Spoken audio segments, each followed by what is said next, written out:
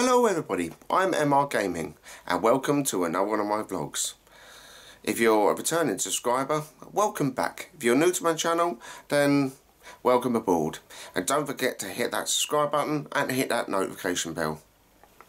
On June the 7th we saw a trailer for Hitman 2, the upcoming game from IO Interactive. So I'm going to play for you now the trailer first and then I'm going to talk about it.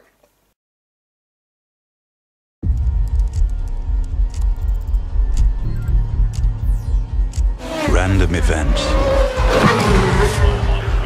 Accidents. Countless possibilities. Converging at a single point in time.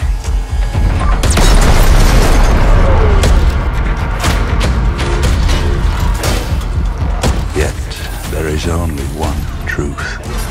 a Cause.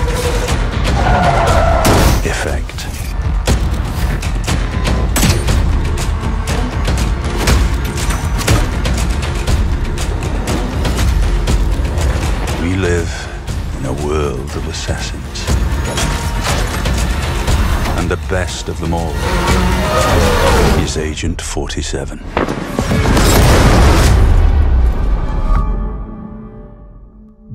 And that was a trailer for Hitman 2. When I first saw that, I was totally, absolutely excited. My words were, oh my god, oh my god, oh my god, a new Hitman game. I was so excited I wet me pants.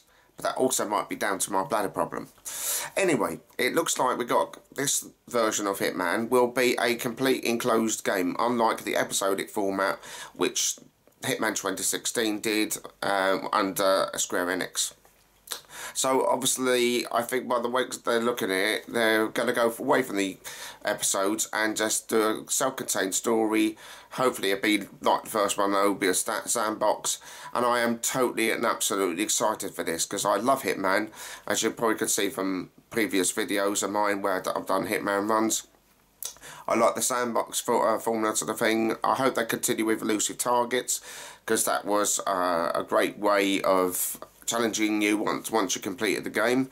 And hopefully they'll still continue with things like community contracts and feature contracts. Because again it was something that they seemed to want to do was open it out to the community and have them people design contracts. And it'd be interesting to see what kind of feedback they get this time.